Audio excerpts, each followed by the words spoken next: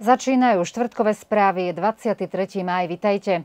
Predsednička Národného zhromaždenia Anna Brnabičová dnes pri príležitosti prijatia rezolúcie o Srebrenici povedala, že nikdy sa tak nezaoberala mierom na Balkáne a tým, ako bude život v Bosne a Hercegovine vyzerať po hlasovaní o rezolúcii. Vyzývam všetkých z Európskej únie, aby si položili otázku, či bude Bosna a Hercegovina mierovejšia a stabilnejšia krajina, kde panuje väčšie porozumenie medzi Bosniakmi, Srbmi a Chorvátmi, alebo nestabilnejšia, kde bude stačiť jeden incident na to, aby sa rozpútal oheň, povedala Brnabičová. Ministerka baníctva a energetiky Dubravka Dedovičová Handanovičová navštívila včera vo Vojke jedného z 500 kupcov výrobcov, ktorý vďaka nenávratným finančným prostriedkom od štátu vybudoval solárnu elektráreň. Ako vyhlásila ministerka, v Srbsku je celkovo 2270 kupcov výrobcov v oblasti domácnosti a z nich skoro štvrtina vybudovala svoje projekty zo subvencií štátu. Kristian Šukič z Vojky vysvetlil, že procedúra okolo verejnej výzvy trvala krátko a je spokojný ako s výškou subvencií, tak aj s prvými výsledkami používania solárnych panelov. Verejné výzvy na udelenie dotácií na solárne panely sa zverejňujú od roku 2021 a záujem občanov je čoraz väčší.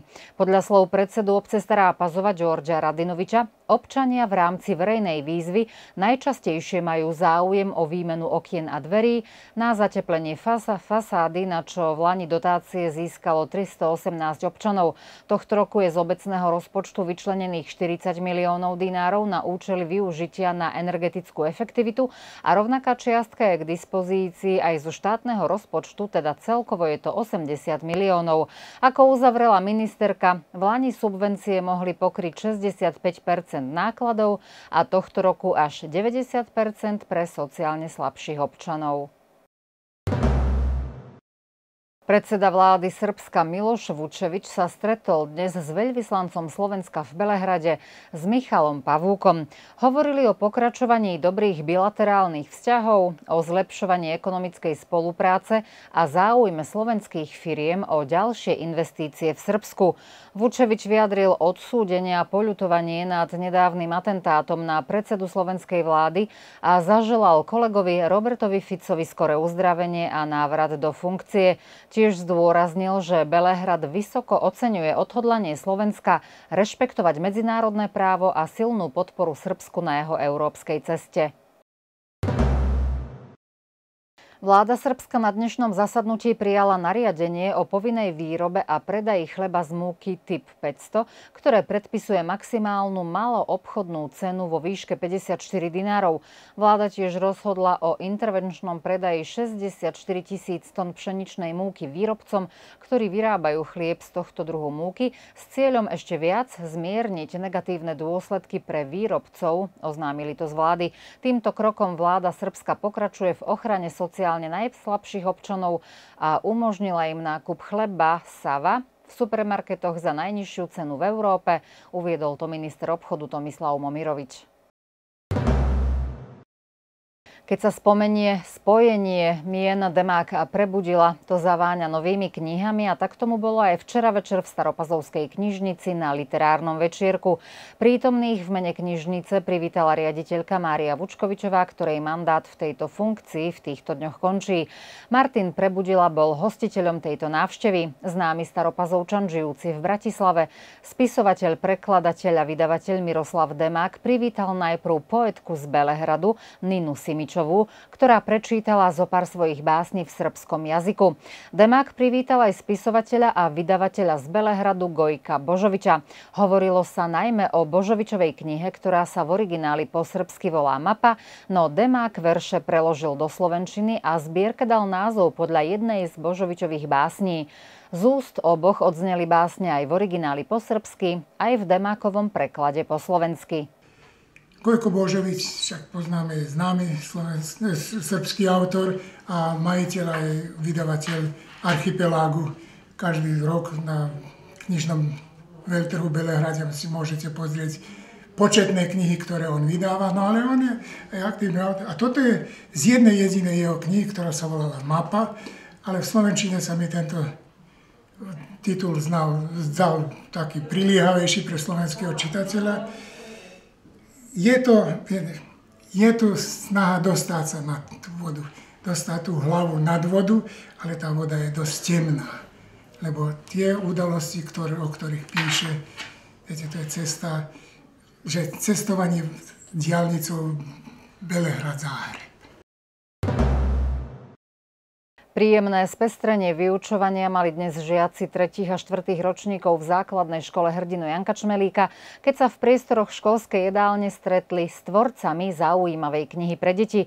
Knihu po slovensky ešte v roku 1986 v rumunskom Nadlaku vydal spisovateľ Ondrej Štefanko. Po takmer 40 rokoch sa jeho dcéra rozhodla, že strelené rozprávky prezlečie do nových šiat a podarilo sa jej to vďaka jazykovej spolupráci s Miroslavom Demá Slovákom a ilustráciám slovinského umelca Dáre Kuchara. Literárne posedenie moderoval staropazovský novinár a spisovateľ Martin Prebudila. V rámci programu sa prihovorili všetci prítomní a niektorí žiaci prečítali úrivky z knihy.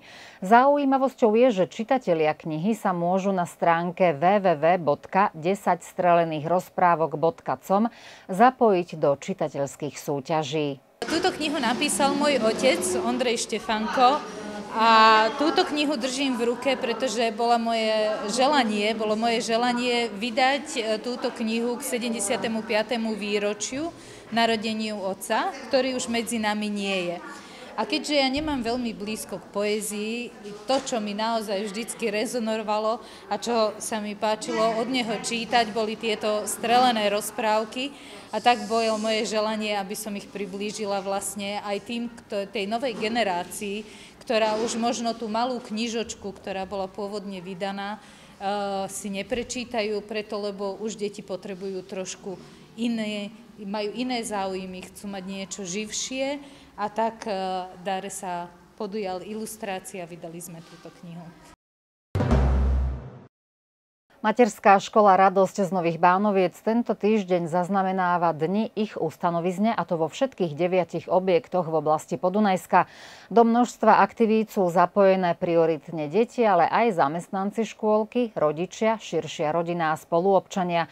Absolvovali už aktivity ako vzájomné kamarátenie medzi škôlkami, piknik, návštevu v základnej škole, divadlo, bicykliádu a na zajtra je pripravené centrálne podujatie, pôjde o tretí ročník veľtrhu učenia.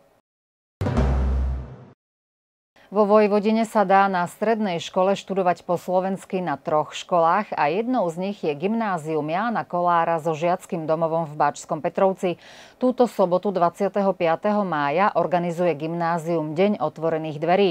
Návštevníkov oboznámia s odbormi, ktoré majú v ponuke pre budúcich prvákov a sú to odbory Všeobecné gymnázium s vyučovacím jazykom slovenským, Všeobecné gymnázium s vyučovacím jazykom srbským, technik informačných technológií s vyučovacím jazykom slovenským a trojročný odbor kuchár s vyučovacím jazykom slovenským. Záujemcovia sa môžu podrobnejšie informovať aj o aktivitách, ktoré sa realizujú v škole mimo vyučovania, budú mať možnosť poznať učiteľov a vychovávateľov a môžu sa informovať o podmienkach zápisu. Dni otvorených dverí trvajú v gymnáziu v Báčskom Petrovci v sobotu od 9. do 17. hodiny. Pozvánka na kultúrne podujatie v rámci cyklu koncertov vážnej hudby sa staropazovčanom predstavia klaviristka Nina Botičová zo Šapca a kontrabasista Aleksandar Vyšič zo Sriemských Karloviec. Botičová absolvovala základné a master štúdium na Akadémii umení v Novom Sade a od úplných začiatkov získavala početné ocenenia na súťažiach, pričom ceny získala aj za pedagogickú prácu, ktorej sa venuje 15 rokov. Mladý kontrabasista Vyšič Ilič má 19 rokov, navštevuje masterclassu profesora doktora Ľubinka Laziča a od roku 2020 je členom Filharmónie mladých mesta Nový Sad. Aj on má už za sebou viaceré úspechy aj ako solista, aj ako člen orchestra. Koncert v Starej Pazove je na programe zajtra o 20. hodine v predsále divadla. Vstup je voľný.